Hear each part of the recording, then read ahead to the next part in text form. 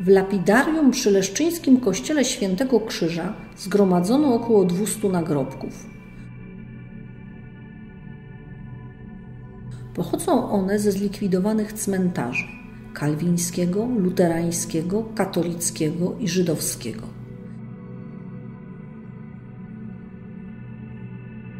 Najstarsze powstały na początku XVII stulecia, najmłodsze w XX wieku. Kamienne nagrobki wykonano w większości z piaskowca, ale znajdziemy również takie wykute z marmuru czy granitu.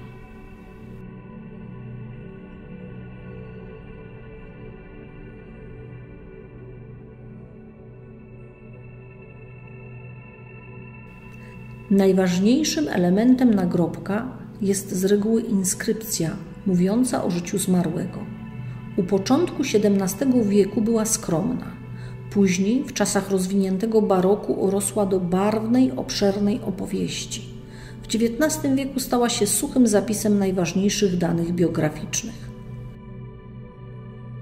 Prócz tekstów w pomnikach nagrobnych szczególnie z tych z XVII i XVIII wieku, ważne były elementy dekoracyjne, często mające znaczenie symboliczne. Jednym z bardzo często powtarzających się motywów były anioły. Spotkać je możemy na wielu płytach i pomnikach nagrobnych. Jako istoty z natury bezcielesne w sztuce przybierały najczęściej postać ludzką.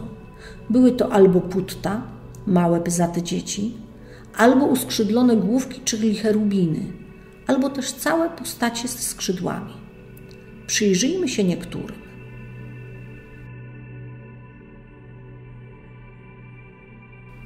Na płycie upamiętniającej Eleonorę Klezel, zmarłą w 1729 roku w wieku 51 lat, widzimy cztery uśmiechnięte anioły. U góry dwa apyzate putta trzymają w dłoniach palmy, symbol zwycięstwa, życia nad śmiercią. U dołu jeden z aniołków trzyma palmę, a drugi zgaszoną, dymiącą świecę. Taka świeca symbolizuje zgasłe życie, czyli śmierć.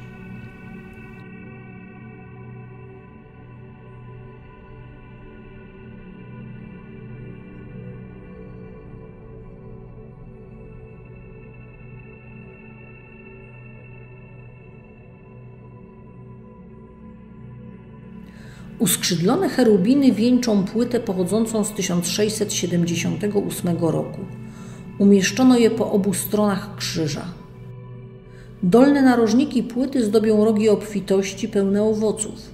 Cherubiny są wyobrażeniem niebiańskiej szczęśliwości, do której droga wiedzie przez ofiarę Jezusa na krzyżu.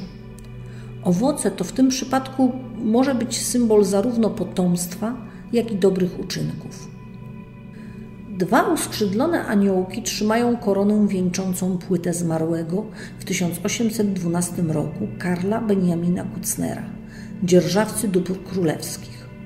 Śmierć zabrała tego mężczyznę w sile wieku, miał bowiem w momencie zgonu 38 lat.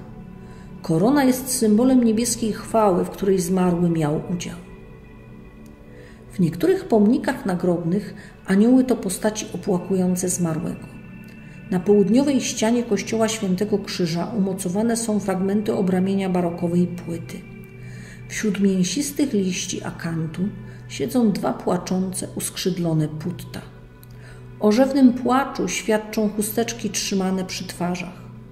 Możemy przypuszczać, iż ta płyta nagrobna upamiętniała kobietę. Dolnej partii obramienia zachowały się płaskorzeźbione przedstawienia wiary z krzyżem, nadziei z kotwicą i miłości tulącej dzieci do piersi. Taki zestaw symboli z reguły dekorował płyty pobożnych chrześcijańskich niewiast, żon i matek. Rozpaczające anioły mogą sugerować, iż płyta opamiętniała młodą małżonkę i matkę. Podobny płaczący anioł widnieje na podstawie jednego z obelisków – Pomnik ten wystawił w 1751 roku leszczyński kupiec Johann Theodor Bertmann jako świadectwo swojej wielkiej miłości. W ten sposób chciał upamiętnić zmarłe, żonę i córeczkę. Żona, Anna Barbara, Zmarła 3 maja 1747 roku w wieku 21 lat. Jej małżeństwo trwało tylko 42 tygodnie.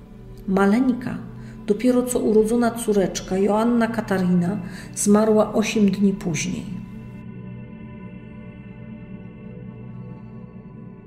Płaczące putto przesłaniające twarz chustką jest świadectwem ogromnego smutku mężczyzny, który stracił ukochane osoby. Pełnoplastyczne figury aniołków stanowią ważny element w dwóch wolnostojących pomnikach z przełomu XVIII i XIX stulecia. W jednym z nich, przytulone do urny putta, przytrzymują dekoracyjną girlandę uplecioną z różnorodnych kwiatów i liści. Urna przykryta jest spływającą tkaniną. Nie wiemy, kogo miał upamiętniać pomnik. Jednak czułość gestu aniołków, ich dziecięce postaci mogą wskazywać na nagrobek dziecka lub kogoś zmarłego w młodym wieku. W drugim pomniku anioł, pyzate, zasmucone dziecko, wspiera się na stojącej urnie, a krańcem draperii ociera sobie łzy. Świat aniołów dekorujących płyty i pomniki nagrobne w leszczyńskim lapidarium jest bardzo bogaty. Trzymają one atrybuty mówiące o śmierci i zmartwychwstaniu, albo są symbolem smutku i żalu po tych, którzy odeszli. Zapraszam do spacerów w tym pięknym zakątku Leszna i odkrywania kolejnych tajemnic.